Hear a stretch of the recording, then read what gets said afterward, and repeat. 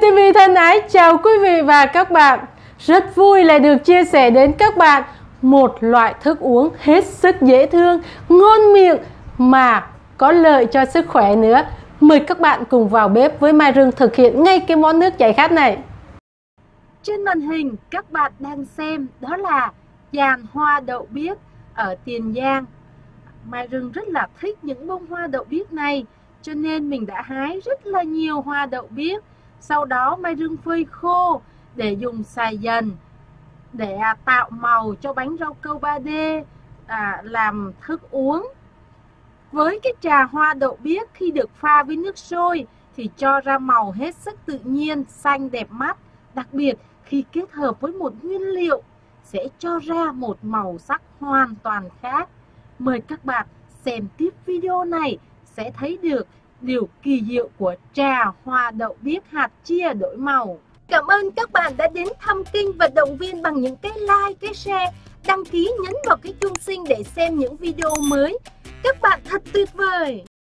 Nguyên liệu chuẩn bị gồm có hạt chia, trà hoa đậu biếc, nước đường, đặc biệt phải có một lát chanh, đá và ly.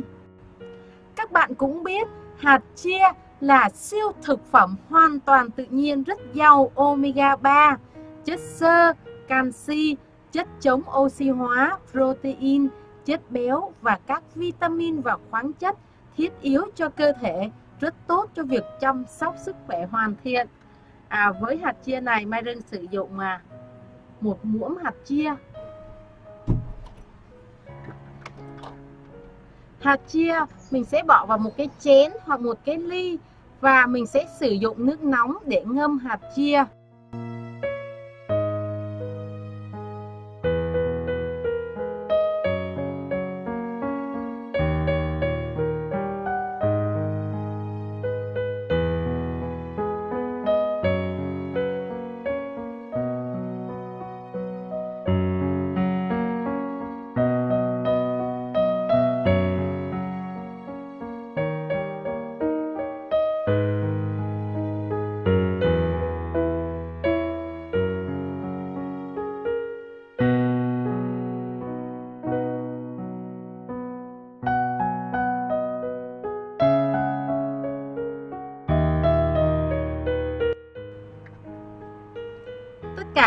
Liệu cần thiết để làm một ly trà hoa đậu biếc hạt chia đổi màu Mai Trân cũng chuẩn bị sẵn sàng như thế này.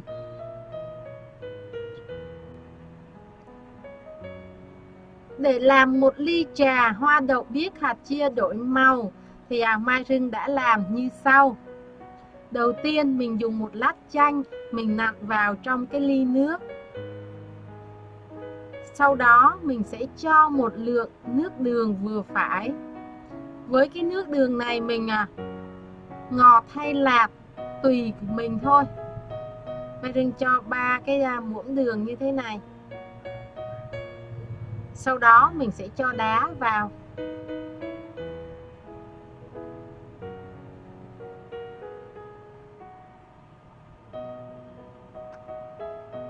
Mình cho đầy ly đá luôn.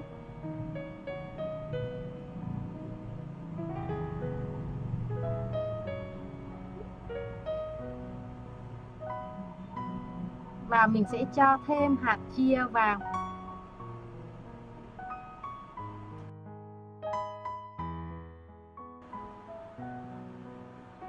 Sau khi mình cho đầy một cái ly đá,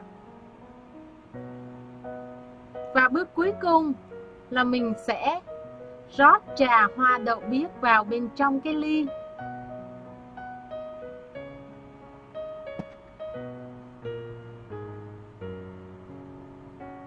Đầu tiên là màu xanh của hoa đậu biếc.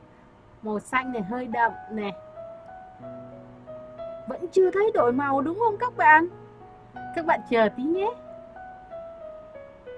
Mình cho thêm một ít hạt chia nữa nè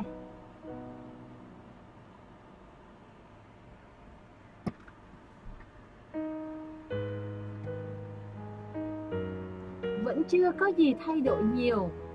Bây giờ các bạn hãy xem đây. Các bạn thấy lớp cuối cùng hơi hơi có một màu tím rất là nhẹ nhàng, đúng không? Và bây giờ mình sẽ lấy cái ống hút hoặc là lấy cái muỗng đó các bạn, cái muỗng dùng để trang trí đó. Mình sẽ khuấy từ dưới lên nè. Đó, các bạn thấy chưa? Màu tím nè. Nếu các bạn muốn cái lớp trên cùng của mình là màu tím hồng cho đến màu xanh thì à mình sẽ cho trà hoa đậu biếc xuống đáy, sau đó mình sẽ nặn nước cốt chanh lên trên cái bề mặt của ly trà hoa đậu biếc. Như vậy là ta sẽ có được hai lớp, đúng không nè?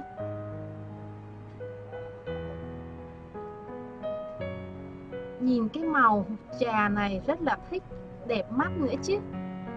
Không những đẹp mắt mà uống rất là thơm ngon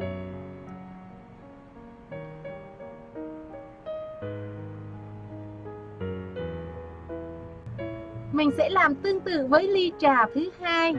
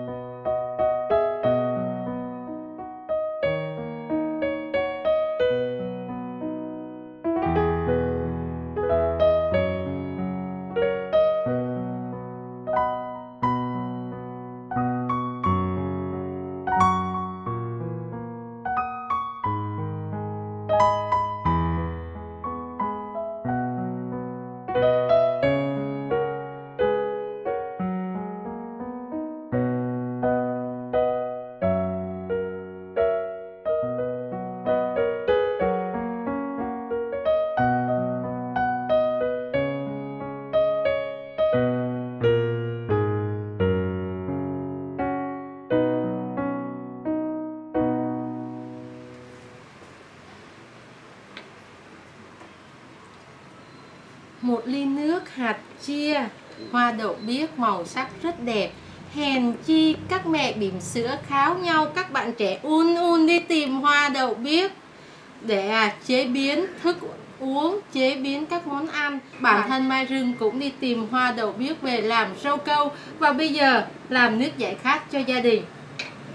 Chúc các bạn thành công với tất cả các món ngon từ hoa đậu biếc.